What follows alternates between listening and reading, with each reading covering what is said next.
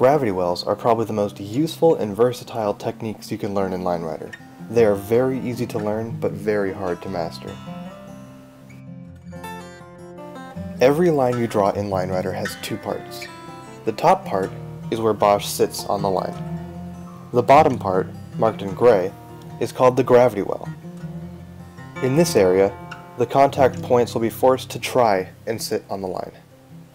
What this means is that the contact points will be pulled towards the black part of the line. In this example, the nose, peg, and foot points are pulled to the black part of the line. Because this happens so fast, this actually pops Bosh into the air. This kind of pulling can happen with any line and any contact point. The easiest way to make gravity wells is to make a chain.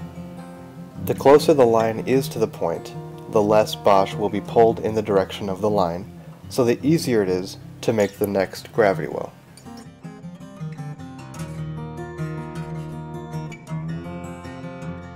To make a gravity well chain, draw reversed lines close to the contact point you want to pull.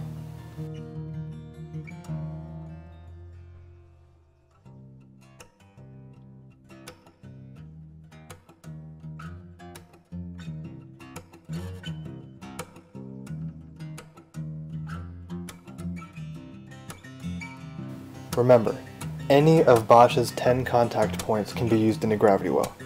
The first chain in this example was a nose chain, and this one is a peg, or tail chain.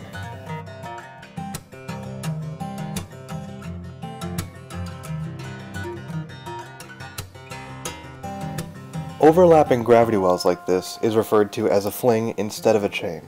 Flings can be used to speed Bosh up quite a bit. Flings are used a lot more than chains because they are better for moving Bosh around quickly and usually look a lot smoother.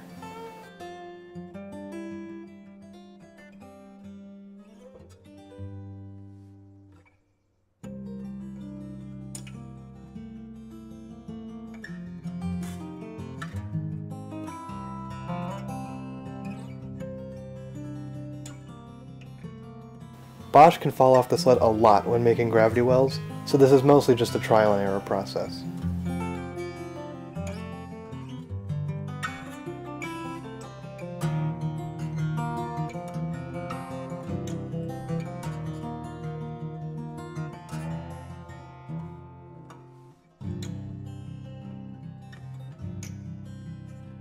To give you a sense of what good use of gravity wells and flings can look like, here are some really good examples in popular tracks.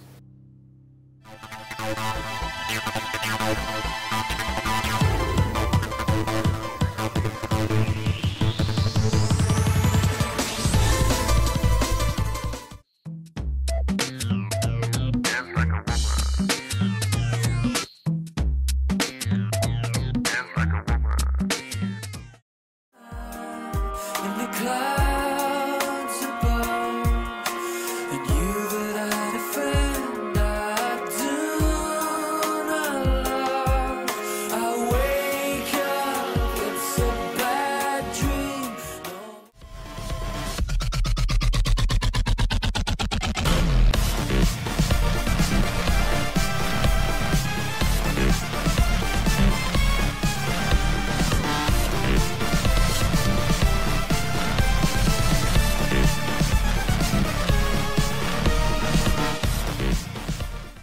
Gravity wells are one of the core building blocks of Line Rider.